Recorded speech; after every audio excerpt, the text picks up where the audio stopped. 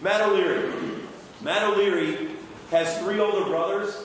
All three older brothers grew it, they grew into college. So I love that. I'm not banking on it, not banking on it, but I love it. Matt has a phenomenal stroke. He is every bit of 6'8. He's really long. He too is going to get better and better with strength. But he is a weapon. He is locked and loaded from three, from all over the place. And guys like Darrell and Cully and Kiki, and that can find guys, look how quick he picked and popped right there. You rewind it. If you saw us pick and pop, you're going to see it's a big part of our offense. So we targeted bigs that can pick and pop. So look at this. Look at this. He has really good footwork. He's also he's really skilled, and you're going to see. I mean, right right out of the gate, you, notice his three point shooting. Though. But he's you see him look away. I mean, he, impressive. He can handle. He's skilled. He has a feel. He's not a panicked passer. Sometimes you talk about panicked passers, like right there. When we break presses and into transition, people are going to have to be aware of him. He's going to spot up when you got Cully and some speed now starting to create. That was a great, I mean, long arms to catch that pass. Now he's uh, right here.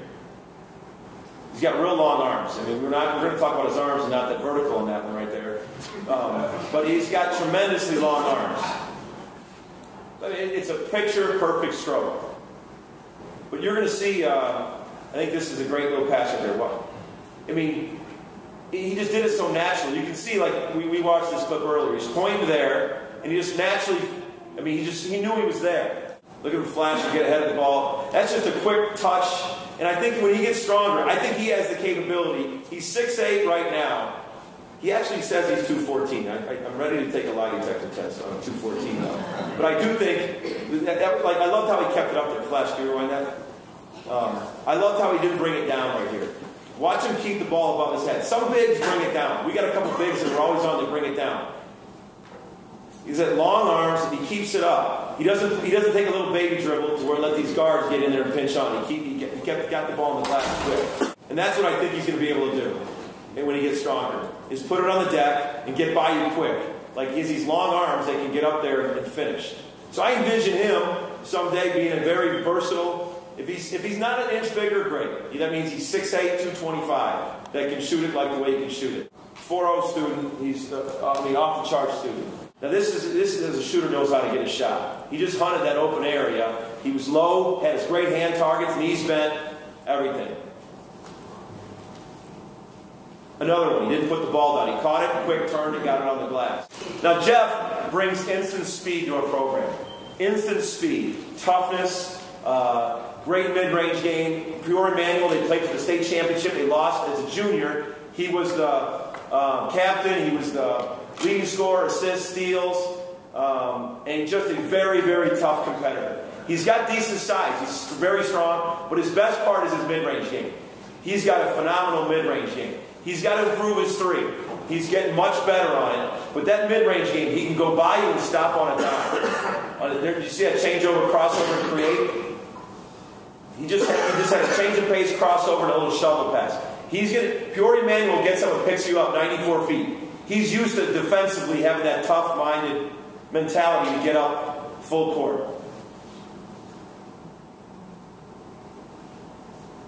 He too, like Darrell, they've been talking nonstop are so excited about building something in Chicago, in Illinois. He's right-handed, but he has a really good left uh, change of pace dribble. He can go left.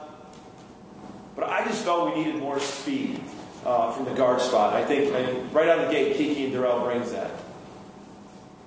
Tough defense, jumping in passing lanes. But I envision him being a very strong six foot, six one, very strong uh, defensive guard gets up in you and really gets that tempo going up and down. When he can create, you know, he's unselfish and uh, been able to find shooters. He's played in state tournaments. He plays in these packed houses in Peoria. Comes from one a great basketball area. And we feel like it's going to open up some pipelines because he's a very, very popular player in that area. Played for the Illinois Wolves AU team.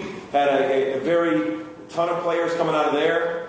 Um, but he's about winning. And I love this, as high school coaches always say, the bigger, he always steps up in huge games. I love that about him. Nick Osborne. Nick is one I've known for a couple years. Nick is a very, very tough kid. He's, he brings athleticism, toughness, mobility. Um, he's got a great frame already. He's tough. He's got a, a great mobility about him. He blocked a shot. He come down. And just like O'Leary, he can knock down trail shots, pick and pop shots, but he's skilled and mobile. Are you riding that? See how fast the cut, cut he makes? He's not slow-footed. He's not a plotter what, at all. He gets it. He makes hard, quick cuts right in front of him. Made a face cut right there, and was able to finish right there. Watch him right here. No flash. You don't want to slow mo this one. But he's. He, I love his hand targets. He goes in for a rebounding. I love this about stop. I love that about clip. That's that's thinking. You know, he's got his knees bent. He's really well coached. His knees are bent. He got his hand targets. He's got his toes ready to face the rim. He's thinking. Too many guys at high school level, they're not thinking about the next pass. They catch it, and they're like, oh, I'm open. At our level, defenses close out so fast. You've got to be roll ready, stepping into your shot one, two. He's already got a good habit. Now, this next thing I can't teach.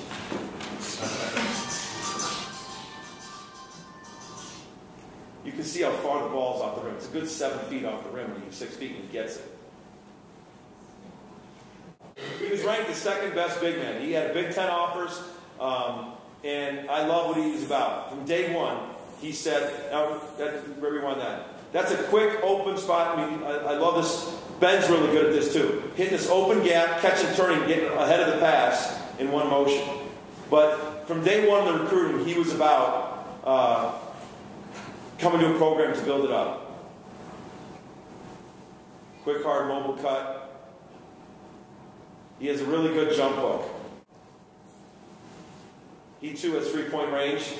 He can stop and pop from three. So he's, I think he's going to be mobile. He's got athletic ability. And I think he's really tough. Again, he's a 4 student as well.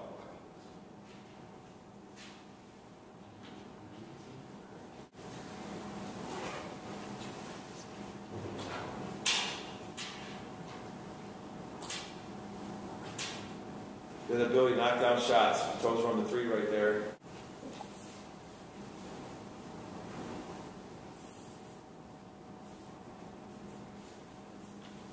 Nick and Jarrell, the last day you gave of the summer, they played against each other, and we was there.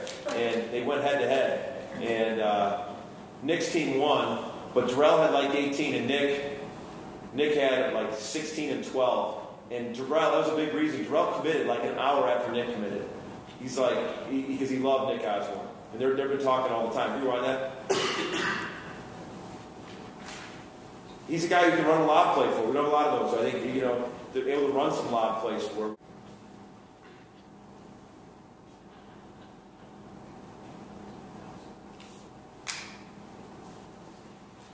I can assure you this.